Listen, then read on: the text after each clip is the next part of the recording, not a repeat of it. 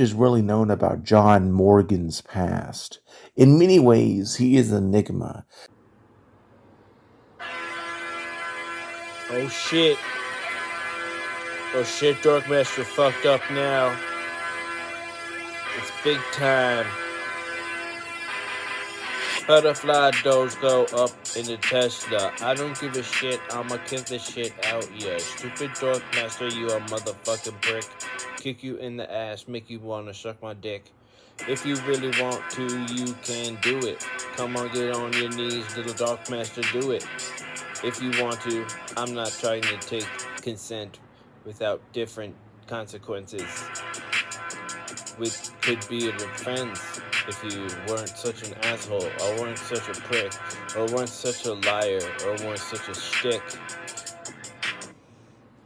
At first glance, it seems like he has no job, no friends, no college education, no family. That's not correct because Gene actually builds bridges and he has a big family, but they all hate him because he was a bully and he has lots of money and they all hate him because he just keeps on surviving lupus. However, the truth is actually far more deep than you might think, and we can paint a far more illuminating, if incomplete, portrait of his life, thanks to a combination of his social media accounts and his own grandiose claims about himself. That must be taken with a skeptical view, given his own massive ego and tendency to lie.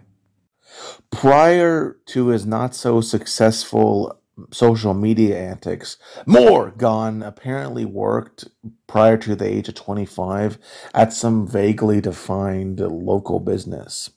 Now, he claims that it was as the CEO, but has never provided any. Bruh, who the fuck claimed that John Morgan was a CEO? He be building bridges, drawing bridges. He ain't even really building the bridges. He ain't even about that life. He ain't a construction worker.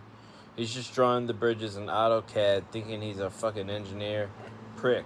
Drawing little blueprints for for bridges, and he's not even cool. He's not even cool like Shabisky, so... Peace.